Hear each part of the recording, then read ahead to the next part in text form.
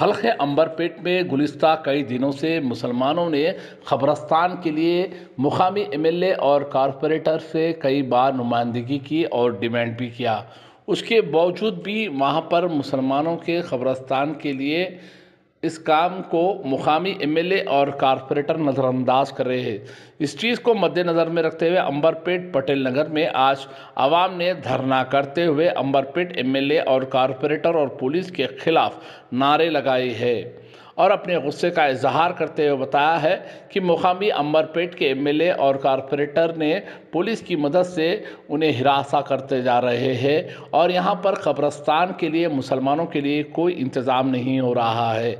उन्होंने वहाँ के मुकामी लोगों ने इल्ज़ाम लगाया, मुकामी एमएलए और कारपोरेटर को आने वाले इंतबात में, हल्के अंबरपेट में मुसलमानों ने मुँह तोड़ जवाब देंगे बहरहाल, इस मामले में अंबरपेट पटेल नगर की आवाम काफ़ी नाराज़ और गुस्से का इजहार कर रही है। आइए देखते हैं हमारे नुमाइंदे शेख जावेद की खफ्तीली रिपोर्ट। नाजरीन, हमारे इस टी वी चैनल को यूट्यूब में लाइक करें कमेंट करें शेयर करना ना भूलें। ट्विटर, फेसबुक और इंस्टाग्राम को पेज को फॉलो करें। आज अंबरपेट में एक जो है सोशल वर्कर बाबा, जो है ना एक्टिविट मेंबर थे उन्होंने जो है ना कम से कम एक साल से जो है खबरस्तान के लिए फाइट कर रहे थे उन्होंने के टीआरएस गवर्नमेंट जो है इलेक्शन में आकर यहाँ पे प्रॉमिस करे थे कि हम जो है इलेक्शन जीतेंगे तो हम दो महीने के अंदर हम आपको प्रॉपर्टी देंगे चार एकड़ मुसलमान के लिए। खबरस्तान खबरस्तान के लिए चार एकड़ आप लोगों को ज़मीन देंगे बोल के बोले थे। आज एमएलए साहब बोले थे केटीआर साहब बोले थे कारपोरेटर बोले थे। तो चार एकड़ ज़मीन में आज जो है बराबर चार साल कंप्लीट हो चुके हैं। कि हम आपको बोले थे जीते बाद दो महीने के अंदर देंगे बोल के बोले थे। आज जो है चार साल हो गए अभी तक खबरस्तान नहीं दिए। तो हमारे साथ जो है, बाबा बोल के जो सोशल एक्टिविट थे तो उन्होंने हर हमेशा हमको फेसबुक पे और जो है ना व्हाट्सएप पे हमको अपडेट देते थे कि भाई काम हो रहा है, काम नहीं हो रहा है। तो हमको जो है, आज महमूद अली साहब दो दिन पहले अंबरपेट, अलीकेफ के पास आए थे। तो उसमें बाबा भाई को इनविटेशन कार्ड दिया गया है बाबा प्रूफ है हमारे पास। तो उसके लिए एमएलए हमारे बाबा भाई ने जो है इनविटेशन कार्ड आया था तो उसमें अटेंड के लिए गए थे। वहाँ पे होम मिनिस्टर साहब आए थे तो उनसे भी बात करने के लिए गए थे कि, सर, हमारा खबरस्तान के लिए क्या हुआ?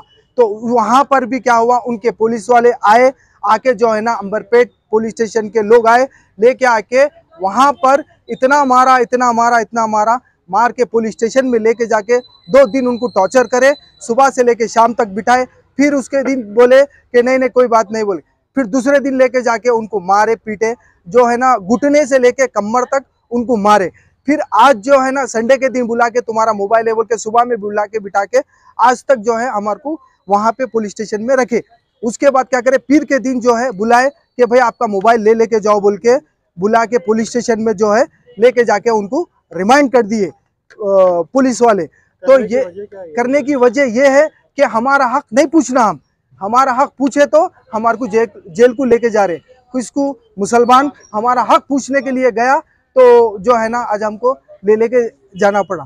बहुत अफसोसनाक है कि हमारे जो साथ में जवा बाबा शख्सियत जो है ना, हमको बहुत अच्छा दिखता था कि हमारे साथ रहते तो उनको नाजायज़ लेके जाके इसके अंदर पूरा प्लान करे सो है। हमारे एमएलए साहब, हमारे सर्कल साहब, हमारे एसआई साहब।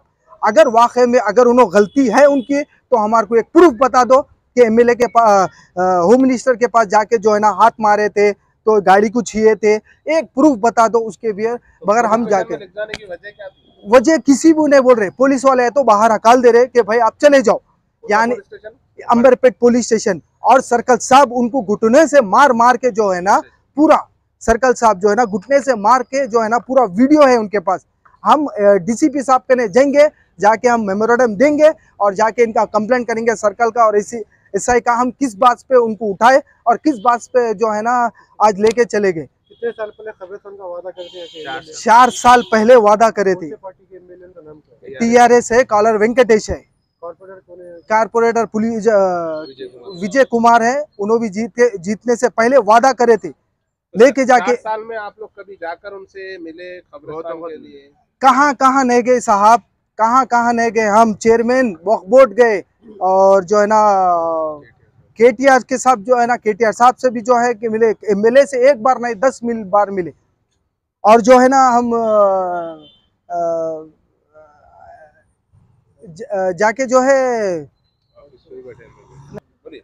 और जो है ना कुछ ऑफिसर को मंडल ऑफ़िस। को भी लेके जाके हम जो है ना मेमोरेटम दिए हैं हम। और एक बात अच्छी तरीके से बता दे रहा हूँ, तुम जहाँ जहाँ भी दबाना चाह रहे मुसलमान को वहाँ दबेगा नहीं? अल्लाह का वास्ता, अल्लाह की कसम खा के बोल रहा हूँ, कभी नहीं रुकेंगे मुसलमान। और जितना तुम परेशान करेंगे हमको, उतना हम उठेंगे। इनशाला आज के बाद जो है ना, हमको इतना परेशान किया गया है कि हर टाइम पे ना हक के जो हर वो ईद को आ रहे जो है ना सोशल वर्कर बाबा को उठा ले रहे घर पे से। कितने दिन? एक गलती बता दो हम उसके लिए एक गलती बता दो हम उसके लिए नादिम होंगे जहाँ पर बोले वहाँ पर। कोई गलती कुछ गलती कुछ नहीं है। व्हाइट कॉलर है व्हाइट कॉलर कितने साल से हो एरिया में? एरिया में तो पैदा यही हुए। सोशल वर्कर मैक्सिमम उन्होंने दस साल से कर रहे? टीआरएस पार्टी से ताल्लुक है टीआरएस पार्टी से उनको इलेक्शन में घर घर फिर के वोट दलाए उन्होंने नाराज़गी इस वजह से है कि उनकी नाराज़गी इस वजह से है कि उन्होंने जो है ना जीते बाद जो है अभी तक खबरस्तान नहीं दिए। इसलिए जो है ना उनकी नाराज़गी है इसलिए उन्होंने खिलाफ काम कर रहे हैं। और जो है हम डरने वाले नहीं है भाई। आज एक बाबा को पुलिस स्टेशन लेके गए जेल में डाले दूसरा बाबा तैयार होगा ये टीआरएस को वार्निंग है और ये मेरा वादा है। इंशाल्लाह अल्लाह की कसम खा के बोल रहा हूँ कि इंशाल्लाह एक से एक बाबा तैयार हो जाएगा।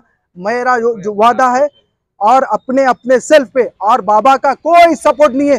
सिर्फ़ अल्लाह के वाह सिर्फ़ अल्लाह के के वा, सिर्फ़ अल्लाह के अलावा कोई सपोर्ट में नहीं है मेरे भाई।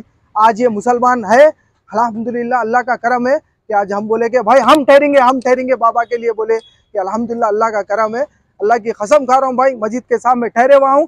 कोई कोई मतलब नहीं है, किसी का कोई मतलब नहीं है। ना जायज़ बाबा को तकलीफ़ हो रही है, ना जायज़ तकलीफ़ दे रहे हैं। सर्कल साहब और हमारे एस आई साहब एम एल ए साहब आपको तो इनशाला इलेक्शन में बता देंगे मुसलमान की आ, क्या कितनी ताकत है मुसलमान को बता देंगे। जो हमारे